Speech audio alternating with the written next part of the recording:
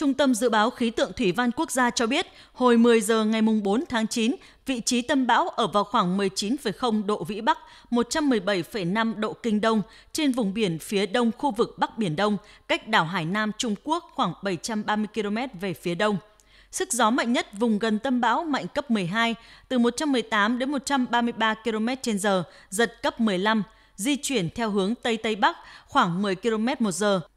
Dự kiến đến 10 giờ ngày 5 tháng 9, vị trí tâm bão ở vào khoảng 19,3 độ Vĩ Bắc, 115,2 độ Kinh Đông, cách đảo Hải Nam Trung Quốc khoảng 470 km về phía đông, bão mạnh cấp 13, 14, giật cấp 17.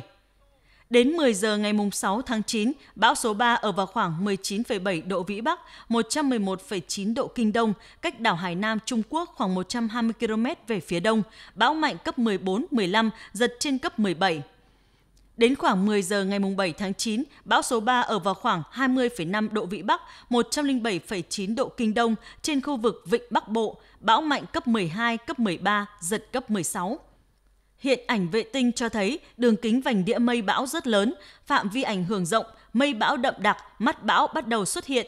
Do tác động của bão số 3, khu vực Bắc Biển Đông có gió mạnh cấp 9 đến cấp 11, vùng gần tâm bão đi qua cấp 12 đến cấp 14, giật cấp 17, biển động dữ dội. Từ ngày mùng 5 đến ngày mùng 6 tháng 9, bão số 3 tiếp tục tăng cường độ, gió mạnh có thể đạt tới cấp 15, giật trên cấp 17 ở vùng gần tâm bão.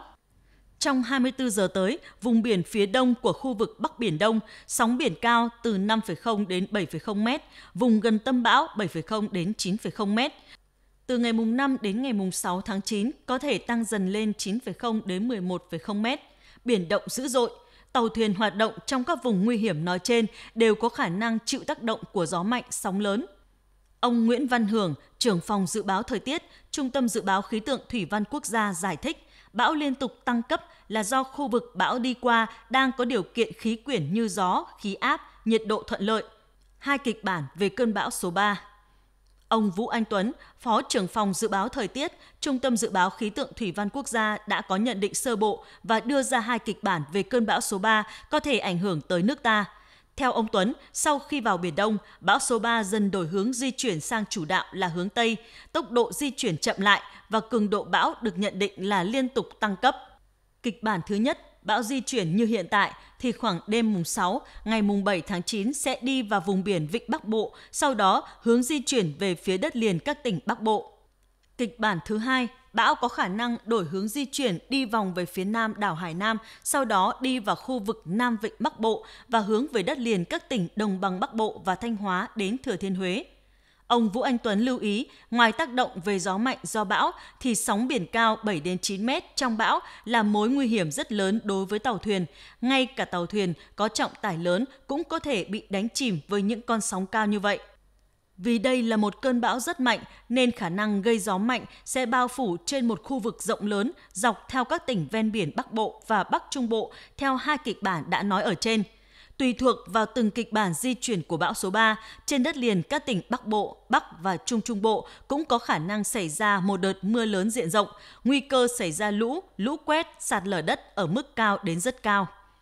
Trong công điện gửi hầu hết tỉnh thành miền Bắc, Thanh Hóa, Quảng Ngãi sáng ngày 3 tháng 9, Thủ tướng yêu cầu các địa phương kiểm đếm, ra soát tàu thuyền, chủ động phương án cấm biển. Trên đất liền, các địa phương tổ chức sơ tán người dân khỏi nhà yếu có nguy cơ ngập sâu, các tỉnh thành miền núi được yêu cầu di rời, sơ tán dân khỏi khu vực nguy hiểm, đảm bảo an toàn hồ chứa, giao thông và sẵn sàng phương tiện cứu hộ khi có yêu cầu. Các bộ nông nghiệp và phát triển nông thôn, tài nguyên và môi trường, quốc phòng, công an, giao thông vận tải, công thương theo chức năng quản lý, triển khai các biện pháp ứng phó.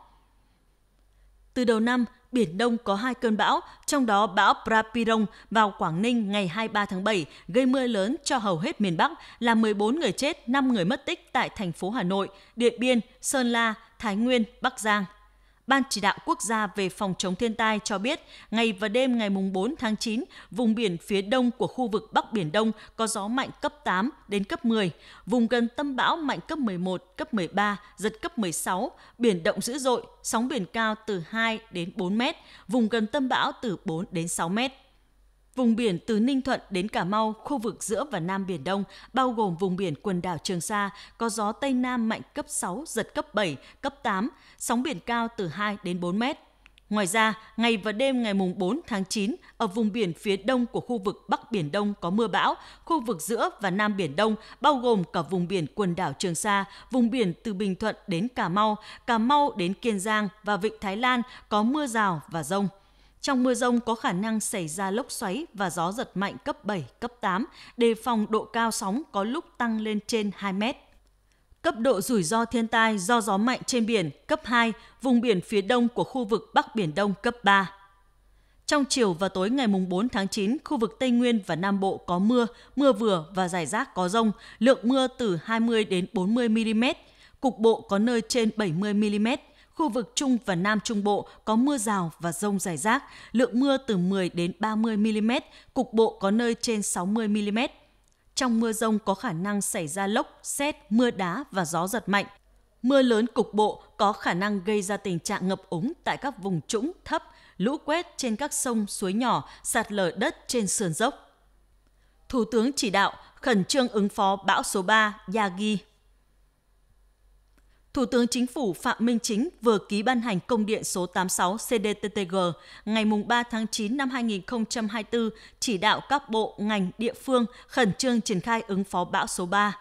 Công điện gửi Bí thư, Chủ tịch Ủy ban Nhân dân tỉnh, thành phố, Quảng Ninh, Hải Phòng, Thái Bình, Nam Định, Ninh Bình, Thanh Hóa, Nghệ An, Hà Tĩnh, Quảng Bình, Quảng Trị, Thừa Thiên Huế, Đà Nẵng, Quảng Nam, Quảng Ngãi, Lạng Sơn, Cao Bằng, Bắc Cạn, Thái Nguyên, Hà Giang, Lào Cai, Yên Bái, Tuyên Quang, Phú Thọ, Hòa Bình và Bộ trưởng các bộ Quốc phòng, Công an, Tài nguyên và Môi trường, Nông nghiệp và Phát triển Nông thôn, Công thương, Giao thông vận tải, Xây dựng, Ngoại giao, Văn hóa, Thể thao và Du lịch.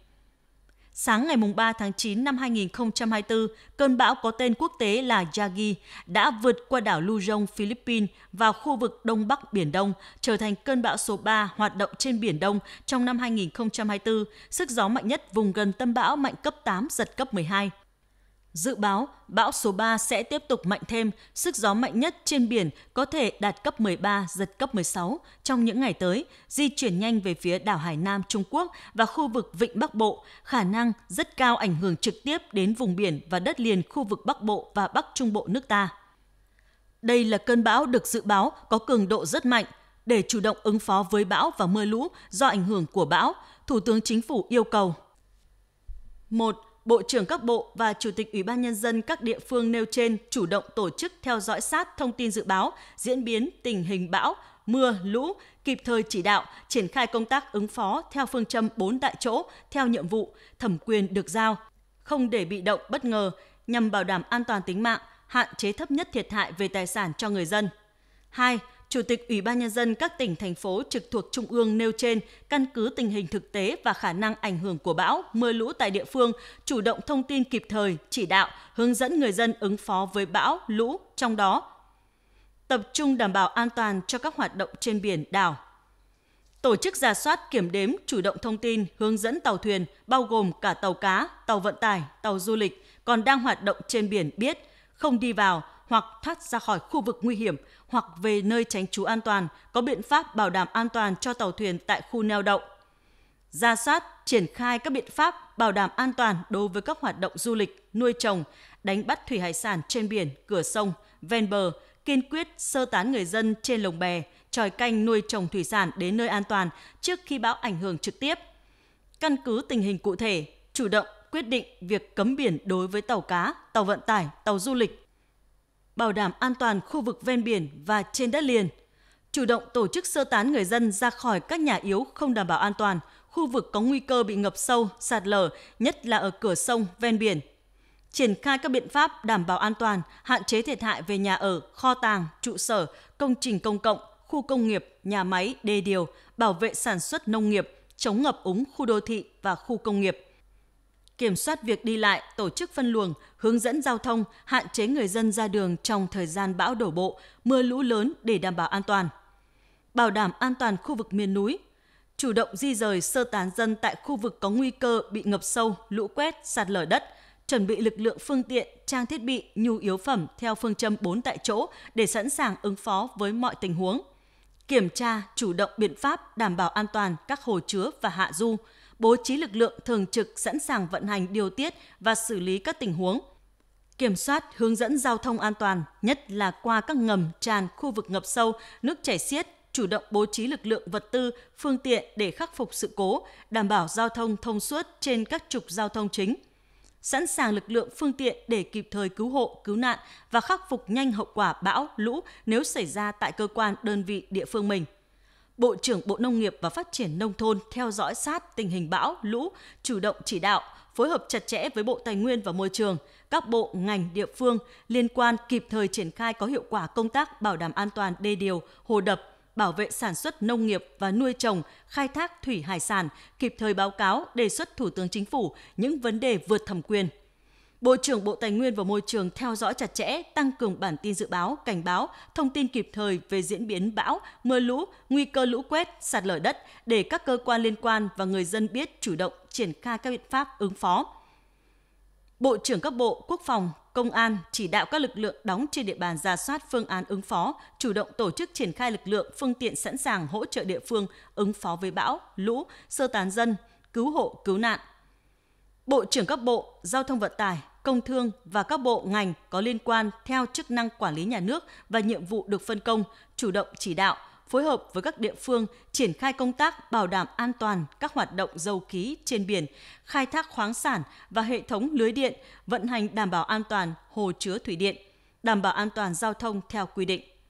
Đài truyền hình Việt Nam, Đài tiếng nói Việt Nam, Thông tấn xã Việt Nam và các cơ quan truyền thông tăng cường thời lượng, đưa tin kịp thời về diễn biến của bão, mưa lũ và công tác chỉ đạo ứng phó để người dân biết chủ động phòng tránh. Bộ trưởng Bộ Y tế chỉ đạo các cơ quan thuộc quyền xử lý các vấn đề liên quan đến vệ sinh môi trường, an toàn thực phẩm do bão mưa lũ gây ra. Giao Phó Thủ tướng Chính phủ Trần Hồng Hà trực tiếp theo dõi, chỉ đạo các bộ ngành địa phương triển khai công điện này. Văn phòng Chính phủ theo chức năng, nhiệm vụ được giao theo dõi, đôn đốc việc triển khai thực hiện công điện này, kịp thời báo cáo Thủ tướng Chính phủ, Phó Thủ tướng Chính phủ phụ trách những vấn đề đột xuất phát sinh.